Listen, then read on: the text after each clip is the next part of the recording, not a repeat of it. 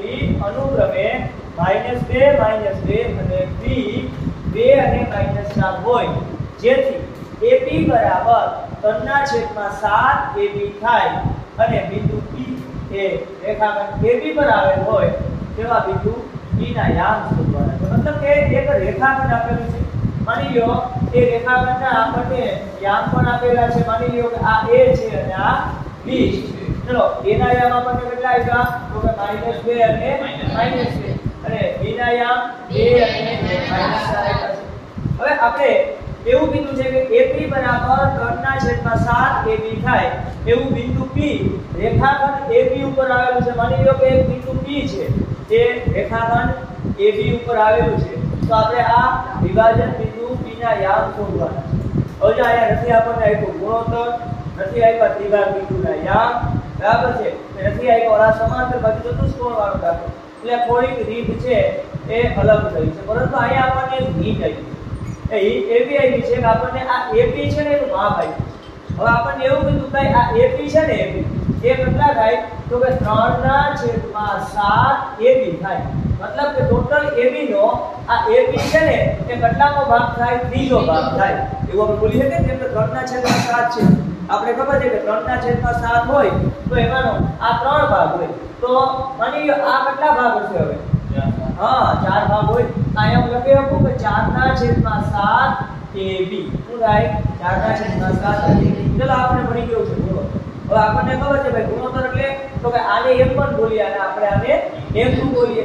તો ગુણોત્તર ગોતવા માટે થઈને આવું લખી આપું. એપી ના છેદમાં BB ચલો AB કેટલા આપ્યા હતા આપણને? તો કે 3 ના છેદમાં 7 AB ને PB કેટલા આપ્યા છે? 4 ના છેદમાં 7 AB તો આ AB AB ઉડી ગયા. તો બે ના છેદમાં 7 છે, તો 7 7 પણ શું થઈ જાય? કટ થઈ જાય. તો જવાબ આવ્યો 3 ના છેદમાં 4 એટલે એ આપણો શું થઈ ગયો? ગુણોત્તર થઈ ગયો. થઈ ગયો? ગુણોત્તર. એટલે 3 જેમ 4 એટલે આ મને M1 આપ્યા છે, આ મને M2 આપ્યા છે. ક્લિયર તો ચલો. આ આપણને x1 y1 આ x2 y2 બસ, આટલું જ સમજવાનું બાકી હવે આપણને ખબર છે કે વિભાજન બિંદુ P ના યામ ઉપરથી આ દાખલો છે એ થઈ જવાનો છે. ચલો લખીએ. વિભાજન બિંદુ P ના યામ. જો સૂત્ર શું થશે ભાઈ?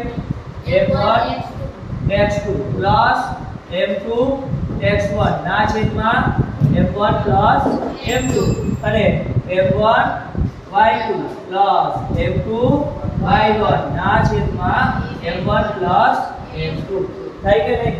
ક્લિયર ચાલો હવે m1 કેટલા આવ્યા આપણને? M1 કેટલા આવ્યા ભાઈ? હા 3 હાલો x2 કેટલા આવ્યા 2 ચલો m2 4 x1 m1 m2 હાલો હવે m1 કેટલા આવ્યા y2